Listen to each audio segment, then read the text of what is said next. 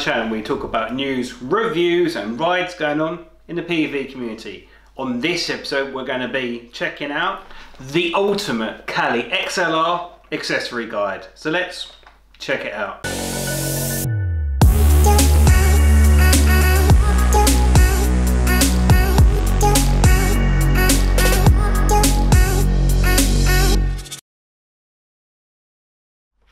Just before we get ourselves started, I want to say a big shout out for today's sponsors for this video. Now, if these sponsors weren't donating some of the products to this video, this video simply wouldn't be happening. So I'll say a big shout out to Eskate Shop based here in the UK and Dope uh, grip for supplying the dope grip for this video and then finally Alterbags for supplying the bag which we could be doing a giveaway at the end of this video so please stay to the end to find out how you can enter that giveaway but let's get ourselves started with our first product, which is Dope Grip. Now, for some of you guys who are not aware of like kind of the advancements we've had in the uh, Eskate community and even the uh, all PV community, we have got Dope Grip to thank us for our improvement on grip, uh, grip tape technology out there. So this is the standard one, quite traditional, quite rough uh, grip tape, but they also have another version, which is the Pro version. Now this is the Pro version. Now as you can see it's a little bit more spongier, but this is going to be going on the Kaly XLR. We're going to be changing the stock grip tape uh, to this grip tape, but we're going to show you how we go through that process now. Right. Okay, so the first part of this video, we're going to be installing the dope grip. Now with your installation, uh, because this is a single piece and not the hexagonal one, uh, what I'm looking to do is match the original uh, grip on the board and upgrade it to the Dope Grip Pro. Because be honest, this Dope Grip I've got on my Carbon GTR and it is the softest, softest ride ever. And with the stabilization on this board, massive wheels, it's just gonna be floating on cloud nine on this board. So with this installation, you're gonna need a pair of scissors, a pen, and a hairdryer. So the idea is we're going to measure this twice and cut it once. So the width of this dope grip literally only just fits on this board. So it's going to have to go widthways. So what we're going to do is we're going to take off one piece at a time, hair dryer it off, measure it on the grip tape, mark it with a pen, and then slowly cut this out. But this will be a nice steady process. So we're going to start by hair drying the first one off and then just get ourselves started on this journey. So let's get ourselves started.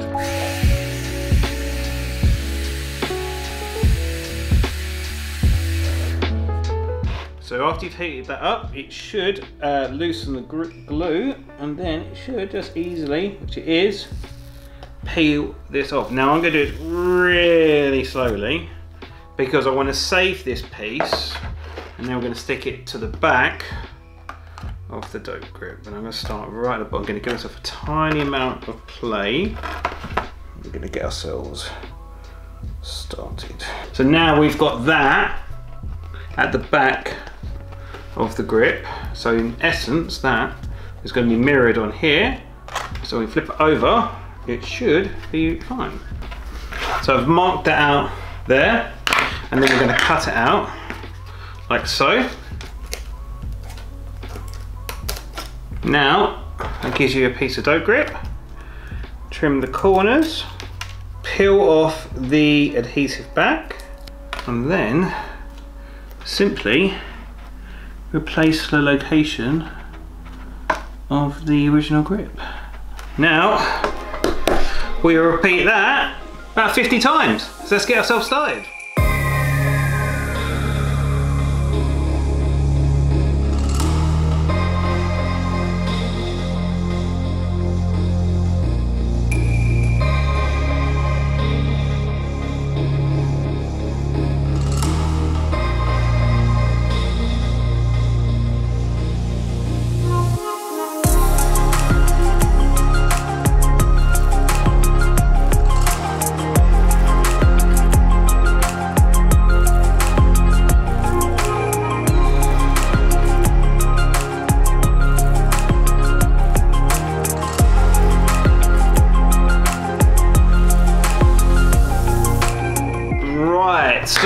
Completed one half of this project already.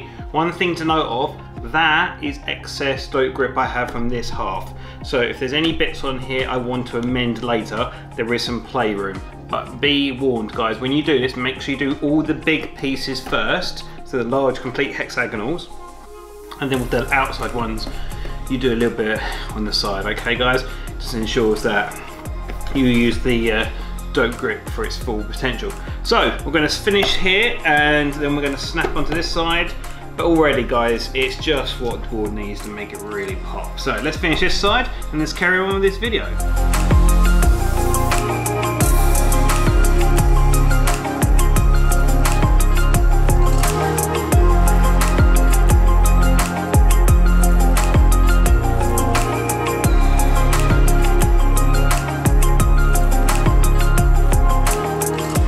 Are done. As you can see, the dope grip is installed. In my opinion, it is the absolute business. So it's very soft on the impact, but very rough, uh, locking you onto the board, which is great, especially on a board this size.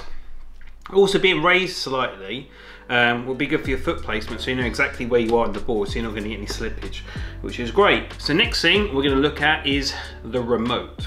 So this is the remote you have on the Kaly XR, the Hoyt Puck in my opinion, probably one of the best Eskate remotes out there. Um, really responsive, the throttle curve is really nice. You can have it as a left hand, right hand, you just simply switch it. Um, I really like the fact that when you turn the remote on, if you double tap the blue button, it will lock the remote. Also, it vibrates when it's not connected to the board because the board's off at the moment. However, what I seem to find on boards this scale, especially with the uh, battery size on them, after a long period of time, you get like a little bit of fatigue under a little finger for long rides. So if you're doing a long, long ride, you sometimes get a little bit of strain in your little finger, but there are some options you can have to upgrade your remote. So here are the two options that we can have uh, for your Hoyt Puck. Now this is the Puck Puck Bruce and basically what it is it's a housing change for your Hoyt Puck. All you need to do is simply undo the four screws that are in the back of the controller. And then all you need to do simply take the housing out. So so easy. Uh, place it in the core of your remote. Put the buttons on the inside on the inside of your new remote. Close it up and screw it in. Nice and simple. Hoyt Puck sorted up so that's one of your options. And the one that we're going on this time for a fresh new start is this one. Now this is the uh, bat wing. So it's almost like a knuckle duster size.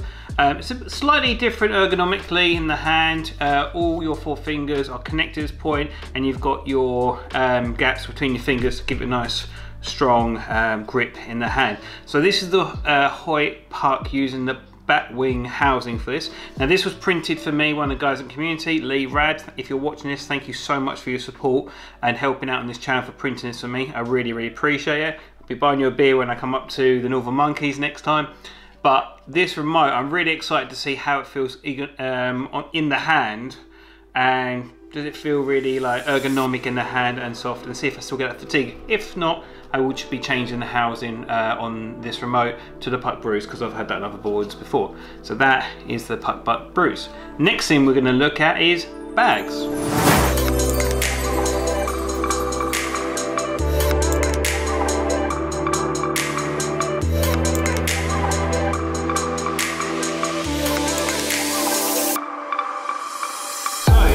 The next star of the show. This is the Arca bag. Now, for people who don't like carrying backpacks but want um, something to take out with them for long, long rides, this is the bag for you. Now, we already have done a video on this before, link in the description below with more details, but we'll do a quick summary overview um, of the Arca bag. So, in the top pouch, simply open it up.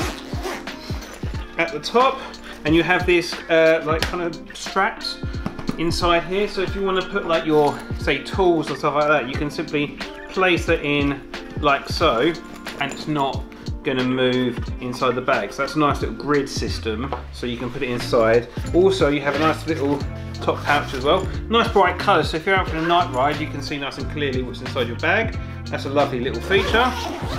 Zip that up. Up the main compartment. You have a nice little shoulder strap here, so if you're uh, going out for a long, long ride, you can simply put your shoulder strap around your bag. You can have it on your side. So if you need to go out, take your stuff with you, simply leave your board on the floor, take your bag with you. Nice simple feature there.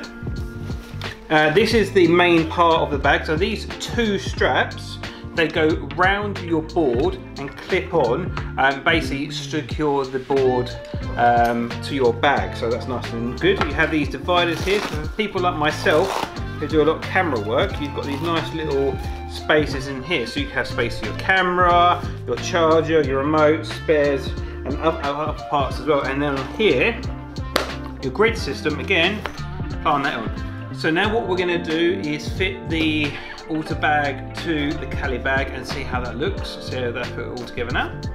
Okay, right, so let's uh, fit the Arca bag to the Kaly XLR. So, I'm gonna thread this through uh, the holes in the back. Okay, right, so that's done like so. So that's on there.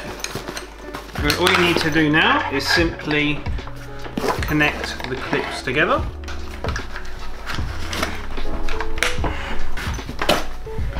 Obviously it's much easier when you uh, have the board on a flat surface.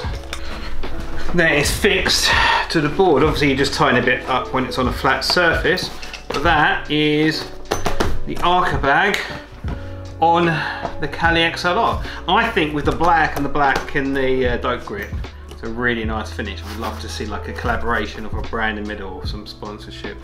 Get, I don't know, like a logo or something, that'd be sick. But that's uh, the Arca bag. Now with this bag, we are gonna be doing a giveaway of this bag. Now I know I missed our thousand subscriber giveaway uh, with a lot of stuff going on in personal life. I couldn't really get this uh, giveaway out at the time. But because we've got this uh, Arca bag, we're going to be giving it away to a member of the community, just as a small thank you from myself. Um, so what I'm going to be asking you to do is quite simple. Just be subscribed to the channel, uh, drop a like in the video, and comment any other accessories I, we have not covered today, comment below what would make this board even better. Alternatively, uh, what do you think is the best um, accessory we've gone through today? Just drop in a comment in below and we'll give it away randomly to one of our subscribers, okay? We'll be doing another giveaway later on in this video, so we're doing two giveaways. So please stay tuned for a little bit longer for a second giveaway. now we are on to the final part of this video. Now we're looking at the brand new Shredlights FX. Now, full disclosure, this was totally bought out of my own money, no sponsorship, so no affiliate with Shredlights at all, totally unbiased. Now in the box, you do get your light, another thing we're gonna have a look at as well, what else we get inside the uh, box. Now this is retailing for about 50 pounds in the UK, so it's quite expensive in my opinion, but is the build quality quality being as good as Shredlights normally do? Let's find out. You also get uh, the flat mount, which is nice and flat actually, quite small actually. So it's got a nice strong bond in the middle, that's good. And in the box as well, we do have a quite funky sticker actually. And a spare adhesion strip, which I am really happy with actually with that. Sounds like a really small thing, but it's good to have this, and if you don't like position, you can remove it and put it on a new location with um, USB Type-C charging as well. So quite happy with that. Nice sticker as well actually, I like that. That's really nice feature actually. Now, to be honest, Shredlights have always made really nice premium quality products and justified the price. And the reason why I say justify the price a lot of time is because if you do have faults with your light, they will always sort you out. Um, I had one of my lights go recently for my SL300, uh, which was, that light was sponsored by um, Eskate Shop, so thank you very much for that. Um, but they've uh, offered to replace the, the light straight away. No issues at all, no questions, no problems. So the SL um, FX, we're looking into some more detail. So obviously you turn it on, it's nice and clear. It's quite bright actually. Build quality is really nice actually. It feels really solid and I think that's the big thing about Shredlights. If you drop it or smash against the floor, it's going to take a little bit of a beating, so that's, that's quite nice. Nice rainbow effect. You've obviously got red, green, so that's like pulsating different colours. You've got this snake effect, so it goes all the way around. That's quite nice. Solid red. Like an orange or yellow. Like a lime green. That's nice. That's a stronger green. Crystal white. Now I do like white on the board. I think it's really nice. Uh, like a light blue. Purple or pink. Now I do like purple. Purple is a really nice colour. Crystal white's even brighter. And then it circles through the features. Right, so let's stick us on the board and see what that looks like. Right, so installation is quite simple um, for the XLR. First thing you want to do is get yourself a wet wipe or some cleaning solution. Wipe down the entire stomach of the board. Then get yourself uh, like a cloth or something dry down the surface and now line up where you're going to put your Shredlight. Now there's no real um, spot, you could place it right in the middle, but I think with the bowing of the enclosure slightly, we might have some issues. I'm gonna place it right there. What I'm gonna do is do a soft fit, line it up to see where that's going to sit. ultimately want it right in the center like that or along that way but I do think that's going to move too much. So we're going to place it widthways. I'd love it to go there. Yeah, I'm going to place it widthways there. So simply remove the adhesive strip, place to the board. So I'm going to put this with the adhesion on. So it's right in the core of the board. Right, now that's fitted right, take straight off, press it down a little bit, clip it back on, ready to go.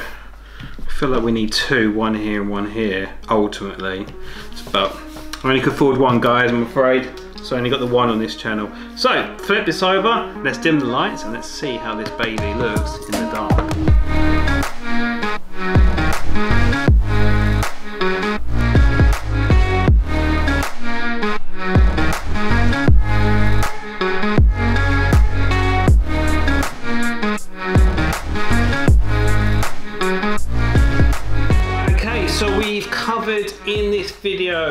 Dope grip, the Arca bag, the SLSF,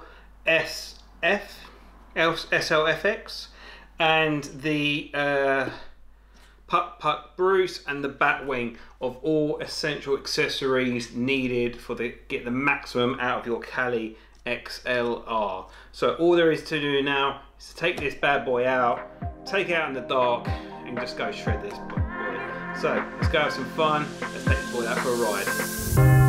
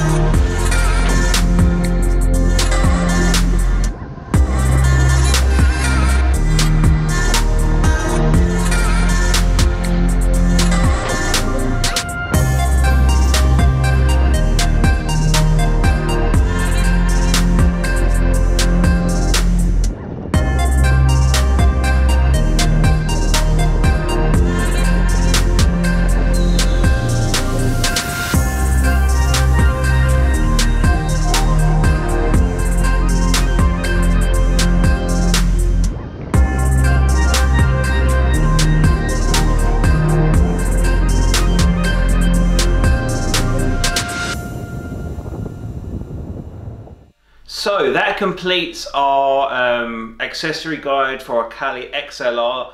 A um, couple things to make note of on the video. Uh, the Dope Grip, I can't say, is absolutely outstanding. And as I said in the beginning of this video, I will be going to do a giveaway with the Arca bag, but we're also to do a bonus giveaway to thank the audience so much for your support. We're going to do a second giveaway. So the second giveaway we're going to be giving away is a sheet of Dope Grip Raw. So this is going to be going out to one of my subscribers as well. And what I want you to do is simply uh, drop a link in the comments below to your favorite video on the channel. Just comment down below your favorite video so I know what the audience really like and then we'll look at that and whatever video has the most amount of likes, I'll comment and I will send you a sheet of dope grip as a thank you from myself couple other things to make note of. Uh, the light FX, I was really impressed how clean the light was, if that makes sense. It was really nice distribution of the light underneath the board. However, with a board this side, you simply need two. One is not enough, you need two. One at the front and one at the back to really kind of get a nice underboard lighting over the whole way through. Even though it came out quite well in the video with the light as well. Arca great and also the remote with the bat wing so nice in the hand really nice and ergonomic. It's really good to hold for long rides. Anyway that is the conclusion of this video. I want to thank you so much for watching. Subscribe for more content. Comes out on a weekly basis and I'll see you on the next one. Peace